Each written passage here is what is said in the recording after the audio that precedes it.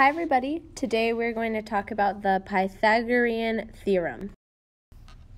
So the Pythagorean theorem states that if we have a right triangle, then a squared plus b squared will always equal c squared. So the most important thing to know about this is that c must be the hypotenuse. For A and B, it doesn't matter which leg you use, but C must be the hypotenuse. And remember, you can always find the hypotenuse by looking across from your 90 degree angle. So one thing we can use the Pythagorean theorem for is finding missing sides of a right triangle. Now it does have to be a right triangle, so please don't forget that. So I look at this problem and I say, okay, I see that my hypotenuse is 10, so C must be 10.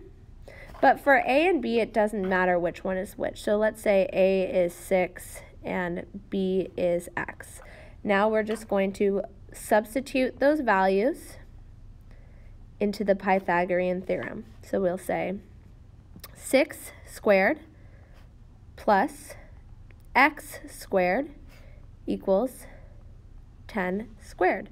Now all we have to do is solve for x. So I'm going to simplify,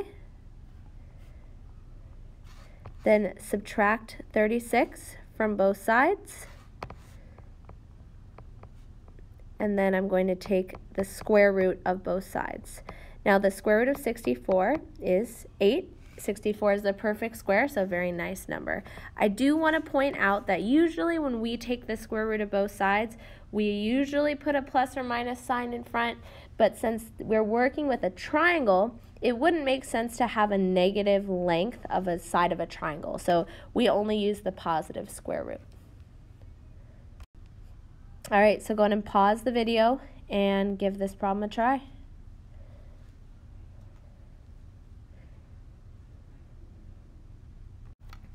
All right, so go ahead and check your work. You could say x squared plus 4 squared equals 8 squared or 4 squared plus x squared equals 8 squared.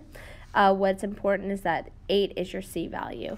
When you simplify, we end up with the square root of 48, which can be simplified. So I found the prime factors, I circled the pairs, and then I simplified from there. So we should end up with 4 times the square root of 3. All right, so we're going to try one more together. So in this case, I can see that x is my c value. So we're actually finding the hypotenuse. But it's the same setup, a squared plus b squared equals c squared. And then we just simplify. So 4 plus 9 equals x squared. And 13 equals x squared, so x equals the square root of 13, which cannot be simplified, so we're done. Okay, go ahead and pause the video and give this problem a try.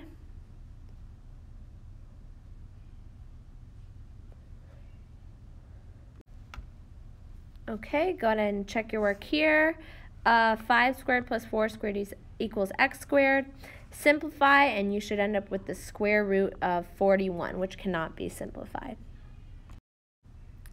All right, now we're going to talk about a different use of the Pythagorean theorem, um, which is actually checking to see if a triangle is a right triangle. So if we do a squared plus b squared equals c squared, and we get a true statement, then we know that the triangle is a right triangle.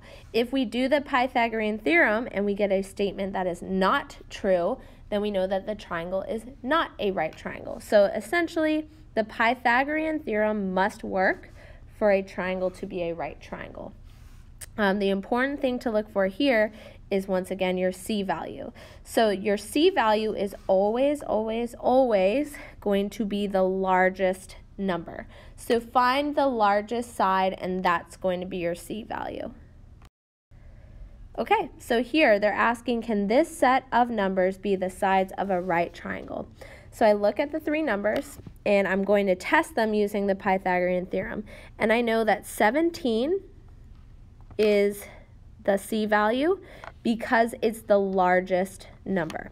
So let's plug it in. 8 squared plus 15 squared equals 17 squared.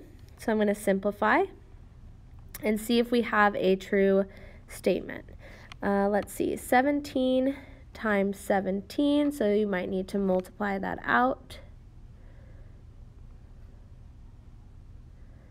So we have 289. And then let's keep simplifying on the left. Let's do a little bit of addition. And what you'll see is that we get a statement that is true. 289 is equal to 289. Since the Pythagorean theorem works, we would say, yes, these numbers can be the sides of a right triangle. Let's try another example together. So here I look at the three sides, and I know that this must be the C value because it's the largest. The other two are A and B. It doesn't matter which one. So 5 squared plus 7 squared equals 9 squared. 25 plus 49 equals 81. So we end up with 74 equals 81. So this is just not a true statement. We know that 74 does not equal 81. So that means that this triangle is not a right triangle. No, they cannot be the sides of a right triangle because the Pythagorean theorem did not work.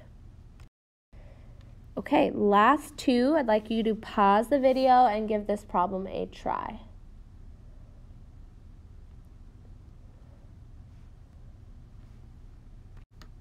All right, so for the first one, make sure you used 10 as your C value.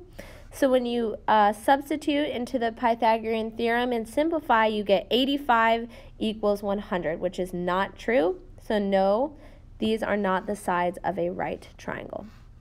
For the for part B, we see that C is our, or 13 is our C value because it's the largest number. So when you simplify, you get 169 equals 169, which is, of course, a true statement. So yes, these are the sides of a right triangle. All right, that's all for today. Thank you for watching.